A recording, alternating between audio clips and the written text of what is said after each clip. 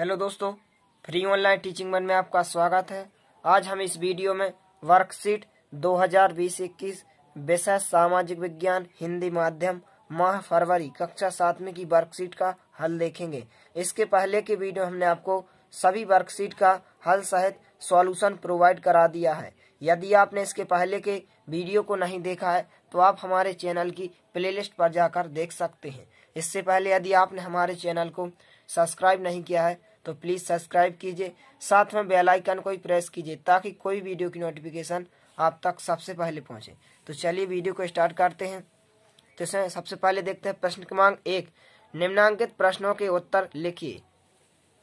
इसमें हम देखते हैं आ नंबर का क्वेश्चन प्रश्न क्रमांक एक का। ऊपर दिए गए चित्र के आधार पर निम्नलिखित प्रश्नों के उत्तर लिखिए। तो इसमें पहला क्वेश्चन है ओजन परत का फैलाव किस ऊंचाई तक है? तो इसका आंसर हो जाएगा पचास किलोमीटर तक। इसके बाद देखते हैं दूसरा प्रश्न। हवाई जहाज़ किस परत तक जमा तक जा सकते हैं? यानी कि हवाई जहाज़ किस परत तक जा सकते हैं? तो इसका आंसर हो जाएगा ओजोन परत तक। इसके बाद देखते हैं हम अगला क्वेश्चन, प्रश्न क्रमांक तीन। बादल, वर्षा और तूफ़ान आदि की घटनाएँ किस परत में घटित होती हैं? तो इसका आंसर हो जाएगा शुभ मंडल इसके बाद देखते हैं हम प्रश्न क्रमांक एक का बा नंबर का क्वेश्चन वायु दाब को प्रभावित करने वाले प्रमुख कारक कौन कौन से हैं? तो हम इस प्रश्न का उत्तर देखते हैं। तो यह आपके प्रश्न क्रमांक एक के बा नंबर के प्रश्न का उत्तर हो जाएगा। तापमान, समुद्र तल से ऊंचाई, पृथ्वी का परिभ्रमण, जलवाष्प, गुरुत्वाकर्षण, पुल आदि। इसके बाद देखते हैं हम प्रश्न क्रमांक एक का सा नंबर का क्वेश्चन जल समीर एवं थल समीर में अंतर लिखिए तो हम इस प्रश्न का उत्तर देखते हैं। तो यह आपके प्रश्न क्रमांक इक्कीस, सा नंबर के प्रश्न का उत्तर हो जाएगा। जल समीर, दिन के समय स्थल भाग, जल की अपेक्षा शीघ्र गर्म हो जाता है, जिससे वहाँ पर निम्न वायुदाब और सागरीय भाग पर उच्च वायुदाब निर्मित हो जाता है। पवने जल से स्थल की ओर चलने लगती हैं। इसके बाद देखते हैं थल समीर। थल समीर क्या होता है? जल देर से गर्म, देर से ठंडा होता है। रात्रि में स्थल भाग ठंडा और जल भाग गर्म रहता है। पवने थल भाग से जल की ओर चलती हैं। तो यह आपके प्रश्न क्रमांक एक का सा नंबर के प्रश्न का उत्तर हो जाएगा। इसके बाद देखते हैं हम प्रश्न क्रमांक दो का आ नंबर का क्वेश्चन विधानसभा से संबंधित जानकारी दी गई तालिका में भरिए। तो यहाँ पर आपको भरना है विवरण बिंदु। यहाँ पर जानकारी इस कॉलम में लिखिए यहाँ पर आ नंबर का क्वेश्चन है। विधानसभा का कार्यकाल होता है तो यहाँ पर आंसर हो जाएगा पाँच वर्ष। इसके बाद देखते हैं बा नंबर का क्वेश्चन विधानसभा के सदस्य को क्या कहा जाता है? तो इसका आंसर हो जाएगा विधायक। इसके बाद देखते हैं सा नंबर का क्वेश्चन विधानसभा सदस्य बनने के लिए निर्धारित न्यूनतम आयु है तो इसका आंसर हो जाएगा पच्चीस वर्ष। इसके बाद देखते हैं दा नंबर का क्वेश्चन मध्य प्रदेश विधानसभा सदस्यों की कुल संख्या है तो इसका आंसर हो जाएगा 230 इसके बाद देखते हैं या नंबर का क्वेश्चन मध्य प्रदेश विधानसभा भवन किस शहर में है? तो इसका आंसर हो जाएगा भोपाल।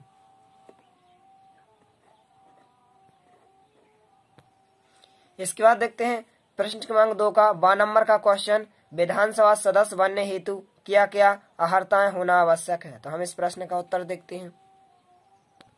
तो यह आपके प्रश्न क्रमांक दो का बा नंबर के प्रश्न का उत्तर हो जाएगा। ये आपकी शर्तें हैं। पहला, वह भारतीय नागरिक हो। दूसरा 25 वर्ष की आयु पूर्ण कर चुका हो। तीसरा, वह भारत सरकार या किसी राज्य सरकार के अधीन लाभ के पद पर ना हो। इसके बाद चौथा, वह दिवाली अथवा पागल ना हो।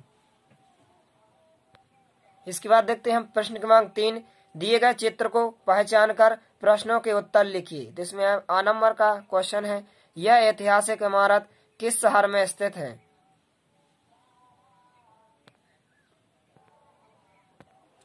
तो यह प्रश्न क्रमांक तीन के आ नंबर के प्रश्न का उत्तर हो जाएगा दिल्ली। इसके बाद देखते हैं हम प्रश्न क्रमांक तीन का बा नंबर का क्वेश्चन इस ऐतिहासिक मीनार का निर्माण किसने कराया था? वह किस वंश का सुल्तान था? तो हम इस प्रश्न का उत्तर देखते हैं। तो यह आपके प्रश्न क्रमांक तीन के बा नंबर के प्रश्न का उत्तर हो जाएगा। कुतुबुद्दीन ऐबक द्वारा निर्माण कराया गया था और यह गुलाम वंश का पहला सुल्तान था। इसके बाद देखते हैं हम प्रश्न क्रमांक तीन का सा नंबर का क्वेश्चन। इल्तुतमिश ने अपनी पुत्री को उत्तराधिकारी क्यों बनाया? तो हम इस प्रश्न का उत्तर देखते हैं। तो ये आपके प्रश्न क्रमांक तीन के सा नंबर के प्रश्न का उत्तर हो जाएगा। रजिया, जो सुल्तान की पुत्री थी, को इल्तुतमिश ने अपने ज़िंदा रहते ही अधिकारी घोषित कर दिया था, क्योंकि बड़ा पुत्र नसीरुद्दीन शासन कर रहा था। अन्य पुत्र अयोग्य थे, इसलिए अपनी पुत्री को उत्तराधिकारी बनाया था। इसके बाद देखते हैं, प्रश्न क्रमांक चार का आ नंबर का प्रश्न। दिए गए चित्रों के आधार पर निम्नलिखित प्रश्नों के उत्तर लिखिए। तो यहाँ पर आपको कुछ चित्र दिए गए हैं। इसमें आपको नीचे आपको चार क्वेश्चन दिए गए। इसमें पहला क्वेश्चन है, दीर्घ ज्वार किस स्थिति में आता है? इसके बाद दूसरा क्वेश्चन दीर्घ ज्वार किन किन तिथियों को आता है? इसके बाद तीसरा क्वेश्चन तीसरा क्वेश्चन है, लघु ज्वार किन किन तिथियों को आता है? इसके बाद देखते हैं चौथा क्वेश्चन चौथा क्वेश्चन है आपका कि ज्वार भाटे के कोई दो लाभ बताइए। तो हम इन चारों प्रश्नों के उत्तर एक साथ देखते हैं। तो यह आपके प्रश्न क्रमांक चार के पहले प्रश्न का उत्तर हो जाएगा। जिस दिन सूर्य, पृथ्वी और चंद्रमा एक सरल रेखा में होते हैं, उस दिन सूर्य और चंद्रमा की आकर्षण शक्ति के प्रभाव से पृथ्वी पर अन्य दिनों की अपेक्षा ऊँचा ज्वार आता है। इसके बाद देखते हैं हम प्रश्न क्रमांक दूसरे का उत्तर। अमावस्या तथा पूर्णिमा इसका आंसर हो जाएगा। इसके बाद देखते हैं हम तीसरे प्रश्न का उत्तर। तो ये आपके प्रश्न क्रमांक तीन का उत्तर हो जाएगा। शुक्ल पक्ष और कृष्ण पक्ष की सप्तमी या अष्टमी। इसके बाद देखते हैं प्रश्न क्रमांक चार का उत्तर। ज्वारीय शक्ति से जल विद्युत उत्पन्न की जा सकती है। इसके बाद दूसरा, अनेक प्रकार की सीपें, शंख, मोती आदि वस्तुएँ किनारे पर आ जाती हैं। इसके बाद देखते हैं हम प्रश्न क्रमांक चार का बा नंबर का प्रश्न। दिए गए चित्रों के आधार पर जल चक्र का वर्णन कीजिए। तो यहाँ पर आपको चित्र के आधार पर इस जल चक्र का वर्णन करना है। तो हम इस प्रश्न का उत्तर देखते हैं। तो यह आपके प्रश्न क्रमांक चार का बा नंबर के प्रश्न का उत्तर हो जाएगा। नदियाँ, नाले, तालाब, झीलें, भूमिगत जल, बर्फीले क्षेत्र, सागर, महासागर आदि जल के प्रमुख स्रोत हैं। गर्मी में इन स्रोतों से पानी का बाष्पीकरण होता रहता है। ये जल वाष्प ठंडी होकर बादलों के रूप में परिवर्तित हो जाती है। इन बादलों से बूंदों के रूप में वर्षा होती है। वर्षा जल का कुछ भाग भूमि में समा जाता है। शेष भाग नदी, नालों आदि द्वारा महासागरों में पहुँच जाता है। जलमंडल से वायुमंडल वायुमंडल से थलमंडल और थलमंडल से जलमंडल में आ जाता है। इसी आवागमन को जल चक्र कहते हैं। इसके बाद देखते हैं हम प्रश्न क्रमांक पाँच, संसद या व्यवस्था से संबंधित जानकारी दी गई तालिका में भरिए। तो यहाँ पर विवरण बिंदु, यहाँ पर जानकारी इस कॉलम में लिखिए। यहाँ पर दिया गया है उच्च सदन तो इसका आंसर क्या हो जाएगा? राज्यसभा। इसके बाद देखते हैं निम्न सदन। निम्न सदन क्या होती है? लोकसभा। इसके बाद लोकसभा का कार्यकाल कितनी वर्ष का होता है? पाँच वर्ष का। इसके बाद देखते हैं राज्यसभा का कार्यकाल कितना होता है? दो वर्ष होता है। इसके बाद देखते हैं। लोकसभा हेतु निर्धारित सदस्यों की कुल संख्या कितनी होती है? पाँच सौ बावन।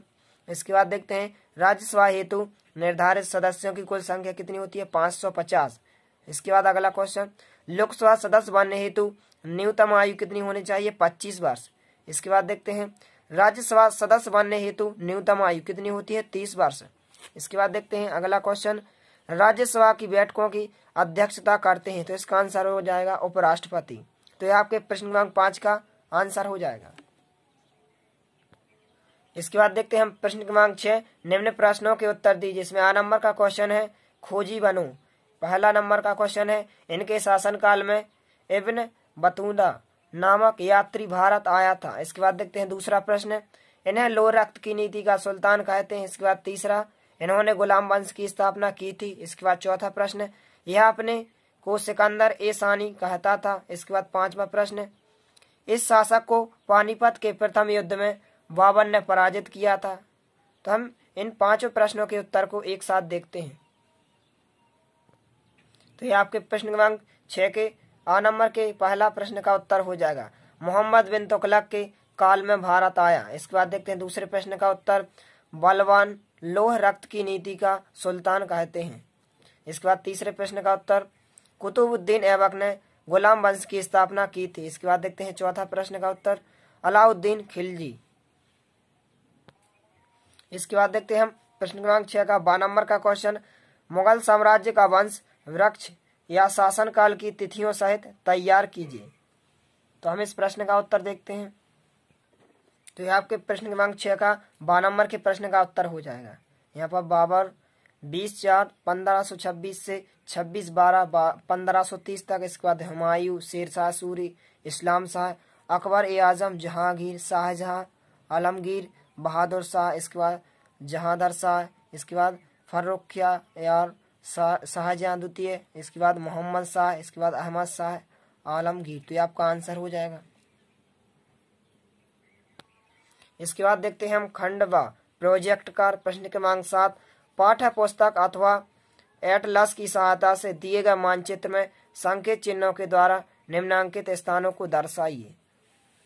तो इस प्रकार से आपको इन मानचित्र में यहाँ पर दर्शा देना है। इन चिन्हों को जो जो आपको चिन्ह दिए गए हैं, जैसे कि हिमालय, वायुराल पर्वत दिया गया यहाँ पर यहाँ पर गोभी, मरुस्थल, सुएज नहर, इस प्रकार से आपको इस मानचित्र में दर्शा देना है। यदि वीडियो पसंद आए तो प्लीज़ लाइक कीजिए, दोस्तों के साथ शेयर कीजिए और यदि आपने हमारे चैनल को सब्सक्राइब नहीं किया तो प्लीज़ सब्सक्राइब कीजिए। धन्यवाद।